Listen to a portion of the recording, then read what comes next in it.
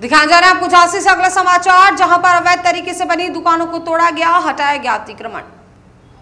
जिला झांसी के मोट तहसील उप जिला अधिकारी ने बताया कि मोट कस्बे में अवैध तरीके से बने दो दुकानों को आज तोड़ा गया है और सरकार द्वारा दिए गए दिशा निर्देशों के अनुसार अवैध कब्जाधारियों एवं कारोबारियों के ऊपर सख्त से सख्त कार्रवाई की जाए। इसी सिलसिले में सोमवार के दिन इन दो अवैध दुकानों पर की गई है कार्रवाई।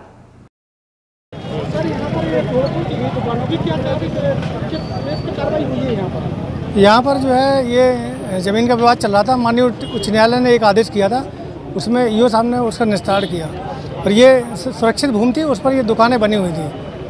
उसी को तोड़वाने के लिए ये कार्रवाई की जा रही है। कितनी दुकानों पर सर? अभी दो दुकानें तोड़ी जा रही हैं और शेष दुकानों का परीक्षण किया जा रहा है। यहाँ पर ये दुकानें किस जगह बनी हुई थी? कोई जगह चिन्हित थी? एक सौ बत्तीस की सुरक्षित भूमि है। ये मैं बंदे की भूमि है बंदा की भूमि। आरक्षित हाँ पीछे तालाब है इसके जी। अच्छा